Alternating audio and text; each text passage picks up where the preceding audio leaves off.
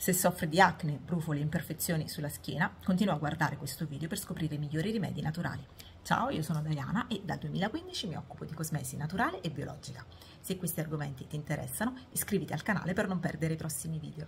Oltre che sul viso, brufoli, acne, imperfezioni possono comparire anche sulla schiena. Sono solitamente dovuti a cause ormonali, infatti si manifestano solitamente durante l'età adolescenziale o in caso di cambi ormonali come ad esempio la gravidanza o la menopausa, ma possono presentarsi ad esempio anche per una predisposizione genetica, per una pelle che tende a produrre più sebo del necessario o anche a causa dell'utilizzo di prodotti troppo irritanti per il proprio tipo di pelle, per un'esposizione scorretta al sole e anche per l'utilizzo di abiti in tessuti non traspiranti. I brufoli sulla schiena sono tipicamente molto simili a quelli dell'acne, quindi compaiono come delle lesioni gonfie arrossate che possono generare anche dolore, prurito e infiammazione. Tentare di migliorare la situazione utilizzando dei semplici rimedi naturali e dei semplici accorgimenti nella nostra vita quotidiana. Innanzitutto, così come accade per quelli sul viso, è fondamentale non schiacciare i brufoli, poiché andremo ad irritare ulteriormente la pelle, a favorire la contaminazione batterica e quindi a favorire la comparsa di altre imperfezioni. Anche in caso di brufoli sulla schiena andiamo ad utilizzare dei detergenti delicati.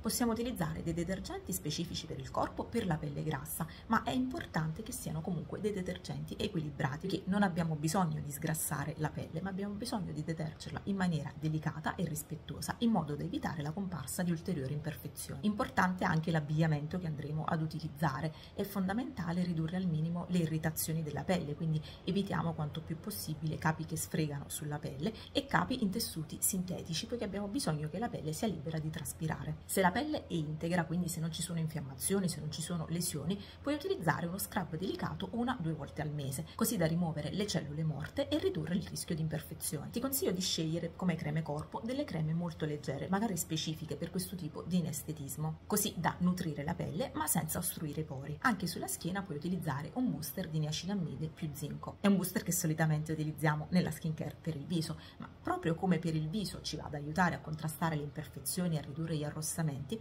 è ottimo sulla schiena proprio per gli stessi motivi. La combo di questi ingredienti va infatti a regolare la produzione di sebo, a lenire gli arrossamenti e le irritazioni dei brufoli già presenti sulla pelle e rende la grana della pelle più compatta, riducendo ad esempio i pori dilatati, i rossori dovuti ai brufoli e anche le cicatrici post brufolo. Questo tipo di booster ha anche un'ottima azione depigmentante, quindi va a contrastare le macchie rosse e le macchie scure post brufolo, va a rinforzare e proteggere la barriera cutanea in modo tale da prevenire la comparsa di nuove imperfezioni. Ottimi per ridurre le imperfezioni sulla schiena sono anche gli oli essenziali di timo, rosmarino e teatrino. Come tutti gli oli essenziali non vanno ovviamente utilizzati in purezza, ma puoi aggiungerne qualche goccia nel tuo olio corpo o nella tua crema corpo proprio prima dell'utilizzo, in modo da sfruttarne appieno le capacità antibatteriche, antinfiammatorie e cicatrizzanti.